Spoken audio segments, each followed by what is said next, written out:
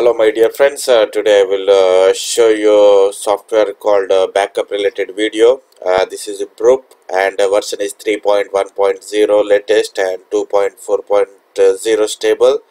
And uh, uh, this is the backup and restore program that you, you can use create secure copy of your important files and folders in order to prevent data loss so now I am showing this video for installation. Welcome to Burp uh, setup wizard version 3.1.0 click on next.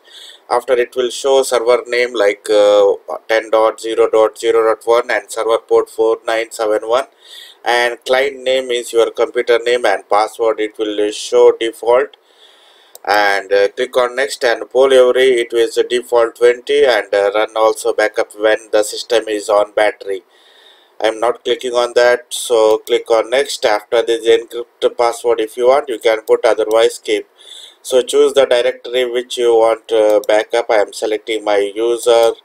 After if you want select other part also like uh, documents or C drive D drive click on next